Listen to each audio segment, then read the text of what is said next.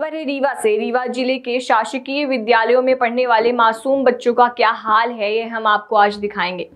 यहाँ अभिभावक बच्चों को स्कूल पढ़ने के लिए भेजते हैं, लेकिन उनसे स्कूल के शिक्षकों द्वारा क्या काम कराया जाता है, इसका जीता जागता उदाहरण हम आपको दिखाने जा रहे हैं। ताज़ा मामला है, शासकीय प्राथमिक पाठशाला मढ़ी जनपद पंचायत गंगेव, जिला रीवा का, जहाँ शिक्षा जगत को शर्मसार करने वाला मामला प्रकाश में आया है। यहाँ शिक्षा विभाग की पोल खोलने वाला एक ऐसा वीडियो सामने आया है, जिसने गुरु और छात्र के रिश्ते को शर्मसार कर दिया है।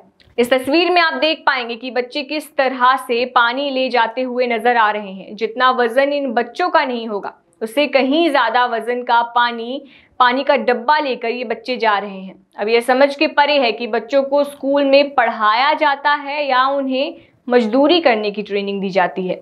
क्योंकि यह तीनों बच्चे कंधे में जिस प्रकार से एक बाँस के सहारे डब्बे को लेकर जा रहे हैं, वह किसी मजदूरी से कम नज़र नहीं आ रहा है।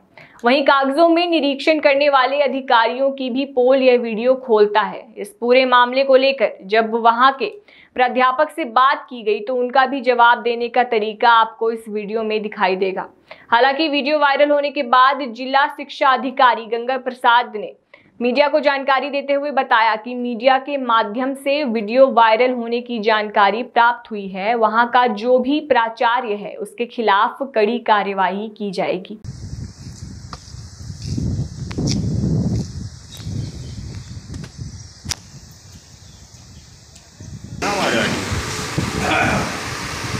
आपको परिचय आपको परिचय ठीक है हम्म, बताइए। हमारा तो तो हाँ है।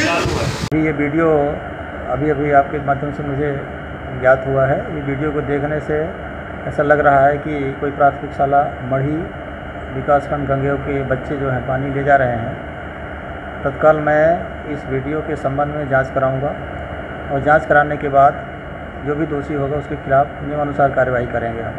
पहले कई वीडियो वायरल हुए झाड़ू भी नहीं, जब भी इस तरह की बातें हमारे संज्ञान में आती हैं, हम तत्काल उनकी जाँच करा करके और जो नियमानुसार कार्रवाई होती है, वो तत्काल कार्रवाई करते हैं।